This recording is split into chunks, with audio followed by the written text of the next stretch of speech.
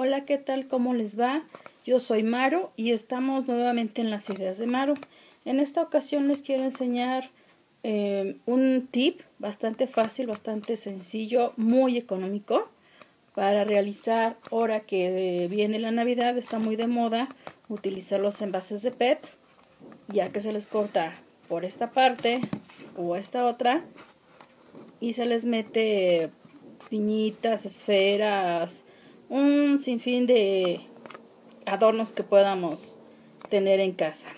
Y bueno, eh, yo he realizado algunas manualidades y he encontrado botellas de estas de PET que son en esta parte del medio, sobre todo lisas.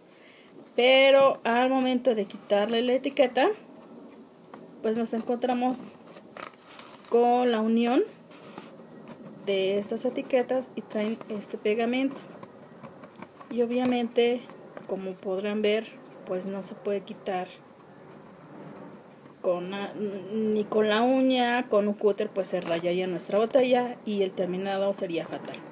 Entonces lo que vamos a necesitar es algo tan sencillo que tenemos casi todos en casa si no es que todos y es algodón de este algodón. Em, vamos a necesitar un quita esmaltes.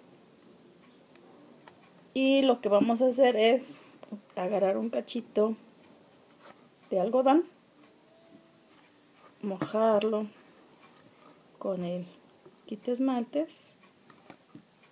Les comento que el color del quita esmalte no tiene nada que ver ok ya una vez mojado nuestro algodón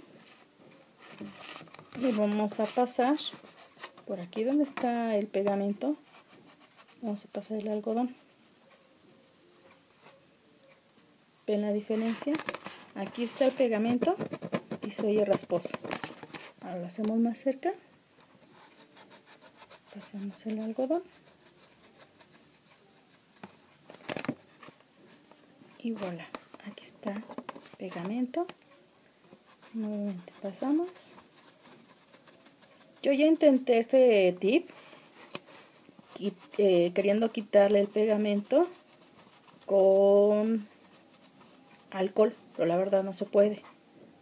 Y lo que encontré mejor fue el quita esmalte. Aquí quedó un residuo de la etiqueta. Nada más se lo quitamos. Ya nada más lo que resta es con un trapo húmedo limpiar muy bien nuestra botella para que quede brillosita. Al momento de cortarla porque como yo ya lavé mi botella tiene estas burbujitas que se hicieron. Y ya nada más que corte mi botella la limpio por dentro y estas como burbujitas van a desaparecer. Ok espero que este tip les haya sido fácil económico, que les haya gustado mucho. Por favor, compartan, comenten, denle like a mi video y pues muchas gracias por seguir viendo mis, mis videos. Gracias, bye.